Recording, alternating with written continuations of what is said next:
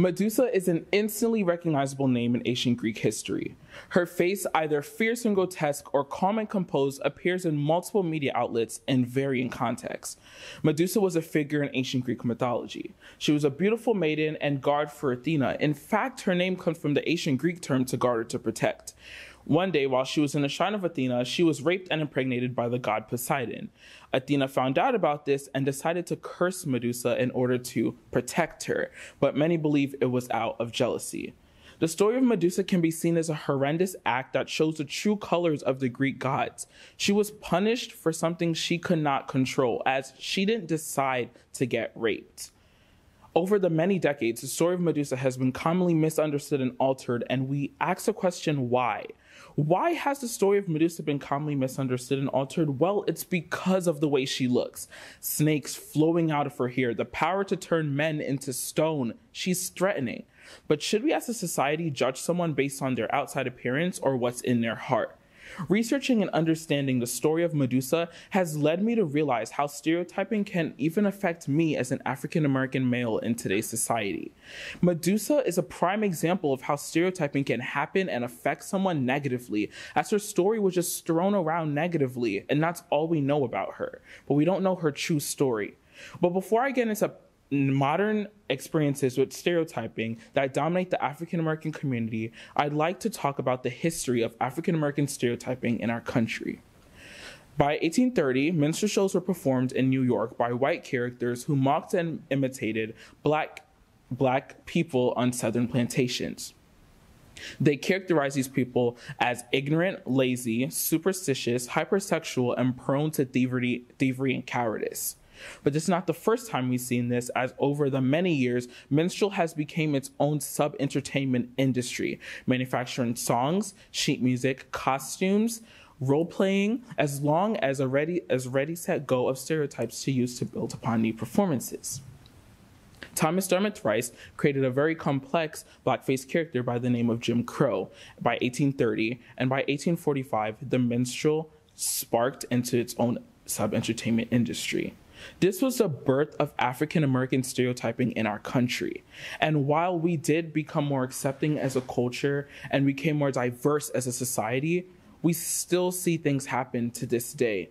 And while it is important to understand the continuity and change that has happened in our country, we need to make sure that we know that this is still happening. Racial stereotyping and racial discrimination is happening to this day, causing for things as horrible as police brutality and a loss of life.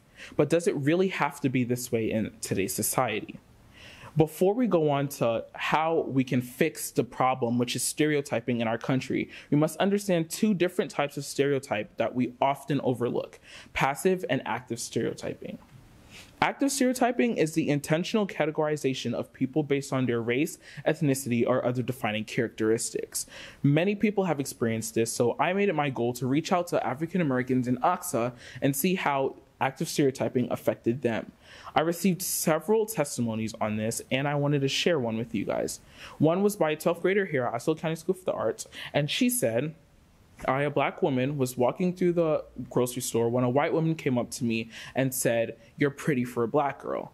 At first, I took this as a compliment, but soon realized how naive I actually was and how blatantly racist this was, as she indirectly implied that everything would be better if I wasn't black.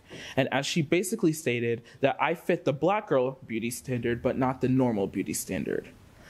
Stereotypes significantly hinder academic performance for from people from largely stigmatized groups the, the standard experimental paradigm of stereotypes prove two conditions threat and no threat. Stereotype threats cause for severe disengagement for African American students, and it, and it is also proven to um, assist with low test scores. Passive stereotyping is stereotyping without truly knowing you're doing it. It could be as simple as grabbing your bag while you're walking past an African American that looks suspicious.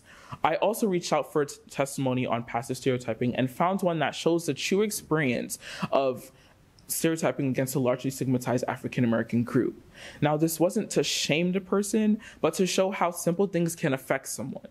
Now, this person, an 11th grader here at OCSA, stated that I, a white woman, was walking down the stairs on the Upper West Side to the subway when I realized there was an African American walking behind me. I was alone, so I decided to walk faster and feared that I'd get attacked. He soon found out that I was doing this and asked, Are you walking up because I'm black? Trust me, I won't hurt you. We do this all the time without truly knowing we're being prejudiced. This mindset will not lead to change. Medusa's story is a clear example of how stereotyping can affect someone. We are not blind, and we know that stereotyping affects every race and ethnicity.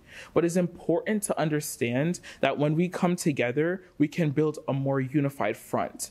With a more unified country, we can work for better ideals and not be stuck on mindsets and ideals of the past.